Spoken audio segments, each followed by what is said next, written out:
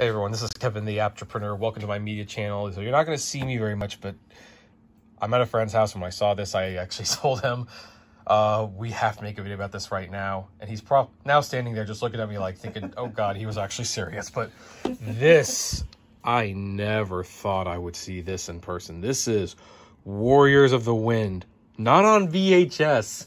This is Betamax. And no, for all you kids out there, I'm not explaining what Betamax is. That's what Wikipedia is for. You can do your own homework.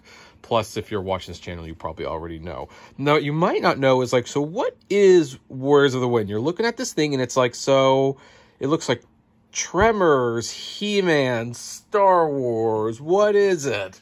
Well, let's turn this around quick and look a little bit more familiar. Yeah, it's Nausicaa. This was the very first release of Nausicaa that came to America by New World Video and and Roger Corman as my friend. He's going to be giving me commentary on this.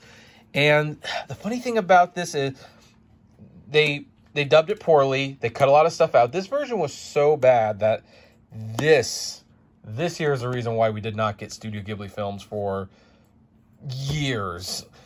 But oh my gosh, so this thing is super. Now let's let's just take it out real quick, quick. And oh, look, it, this is so old. Like, join the New World Video Club. Pop out the profit token and stick it to your membership card.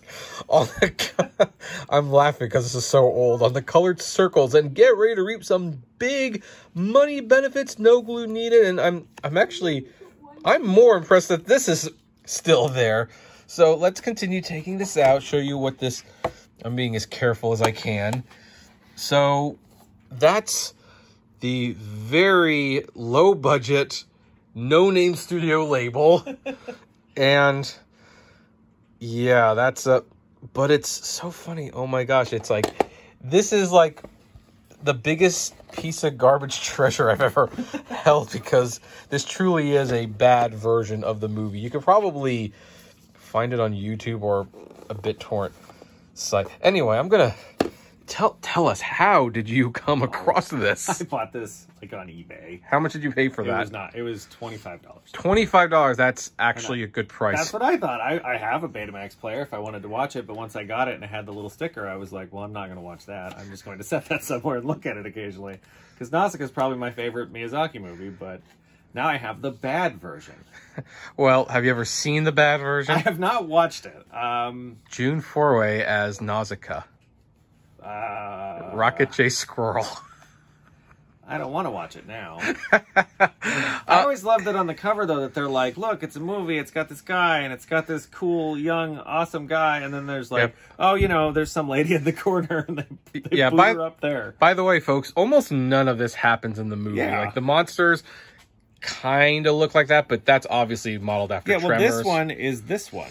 Yeah, and this movie came out in 80, 84, I yeah, think. It looks like Skeletor right here. Yeah, that guy's not in the movie. By the way, look, there's Nausicaa, and they animated her as having long blonde hair. Yeah, and relegated. And then there's a guy with a rifle and a, a horse. I don't even think there was a horse like that in the That's movie. not in the movie. This no. is in the movie. That guy's not in the movie, although you could say he's a different character that made him look different. That person is definitely not in the movie. And of course, this this was like a typical 80s problem. They tried to make it look like guys were the heroes. No, no, this is the yep. main character. And they gave him a lightsaber. Yeah, a lightsaber because, you know, Star Wars was cool at the time.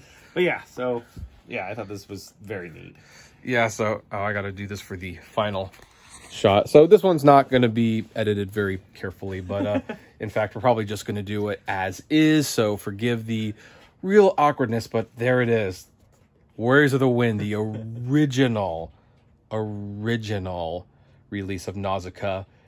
And again, this prevented Studio Ghibli from coming to America for years. I mean, he did make an exception for My Neighbor Totoro was Fox, but after that, I think it took until like 1996 before Kiki's Delivery Service finally came to America. Okay. So, so yeah, no, this is uh, man, and this is a this is also one of the days we might have to do like a tour room of this because you've got the uh, man cave theme going. But yeah, Uh, by the way, folks, if you find this for like less than $30, um, yeah, maybe you could get it then or for collectible, but um, don't don't spend an exorbitant amount of money for this. It's, It's, it's, it's very specifically was like I like Betamax tapes, and this is neat. So right, if I was gonna own one, this was the one.